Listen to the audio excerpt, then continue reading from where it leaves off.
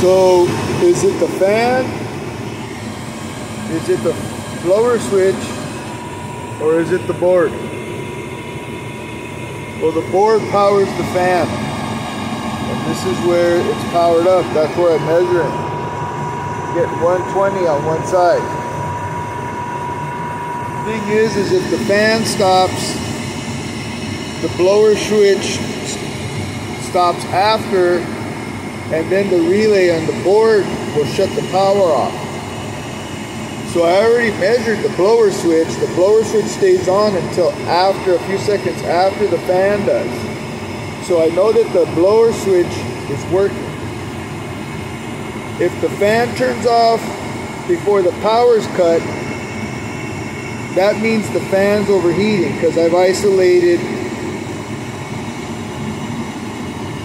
if the power if it's still getting power and it's turning off even though I'm getting voltage. And then you hear the relay click and the voltage turns off because the blower switch is bad.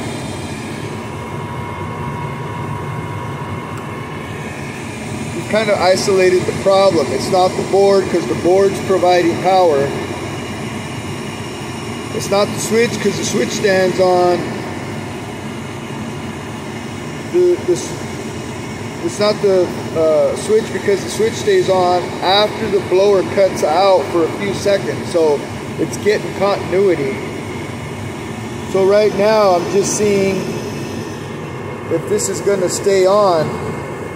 If I'm getting 120 and the, the motor cuts out, I would have to say that this motor's overheating after about five minutes uh, it may be bearings are going bad even though you can't hear them. It may be it's just getting tired and the windings are bad.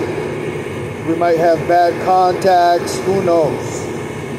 Point is, is that the motor shuts off before the power's cut out. So if we're getting continuous power like we are right now, and it cuts out,